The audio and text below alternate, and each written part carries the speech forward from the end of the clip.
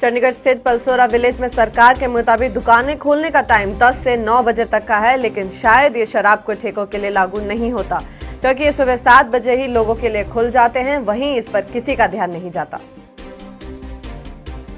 America वायुसेना का F sixteen jet crash pilot घायल रिपोर्ट के मुताबिक मई के बाद से अमेरिका में इस तरह का यह पांचवा विमान हादसा।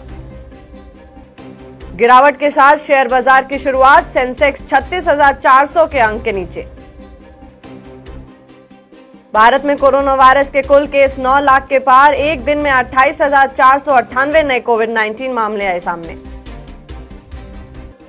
गहलोत के कैबिनेट के एक ही मंत्री ने खुलेआम बगावत पर उतरे। डिप्टी सीएम और राजस्थान कांग्रेस के चीफ सचिन पायलट को समर्थन का ऐलान कर दिया है।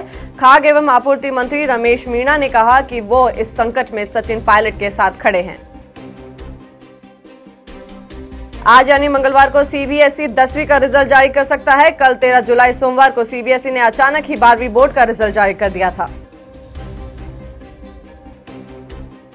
भारत सेना विवाद में एक बड़ा और सनसनीखेज खुलासा हुआ है। दरअसल चीन ने लद्दाख की राजधानी लेह में 250 किलोमीटर की दूरी पर अंडरग्राउंड मिसाइल स्टोरेज बना रखा है। ताज़ा अपडेट्स व बड़ी खबरों के लिए सब्सक्राइब करें अर्थ प्रकाश टीवी और बेल आइकन दबाना न भूलें।